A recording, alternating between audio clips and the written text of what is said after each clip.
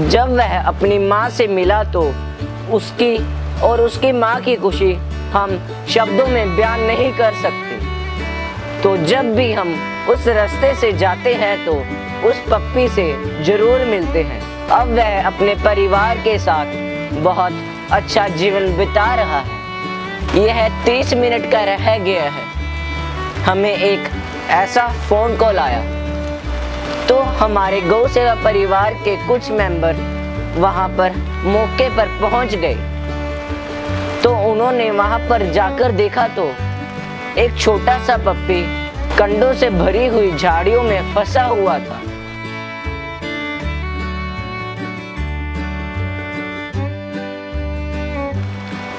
वह अपनी माँ के पास देख रहा था और उसकी माँ अपने बच्चे के पास। उसकी माँ तड़फ तो रही थी, परंतु वह कुछ कर नहीं सकती थी।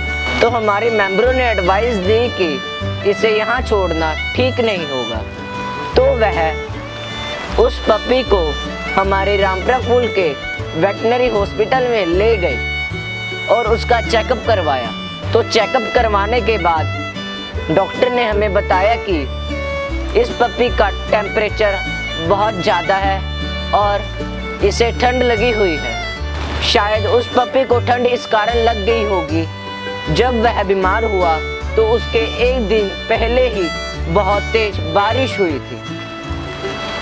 तो डॉक्टर ने हमें एडवाइस दी कि आप इसे कुछ दिन अपने घर रखिए और इसे गर्म दूध पिलाएँ। तो हमारे एक सेवादार उसे अपने घर ले गए। उसे दूध पिलाया।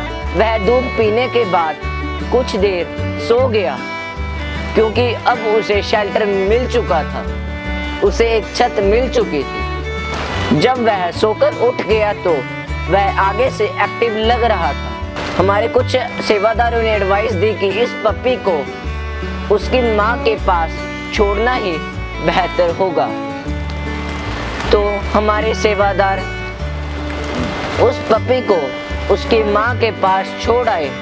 जब वह अपनी माँ से मिला तो उसकी और उसकी माँ की खुशी हम शब्दों में बयान नहीं कर सकते। तो जब भी हम उस रास्ते से जाते हैं तो उस पप्पी से ज़रूर मिलते हैं। अब वह अपने परिवार के साथ बहुत अच्छा जीवन बिता रहा है।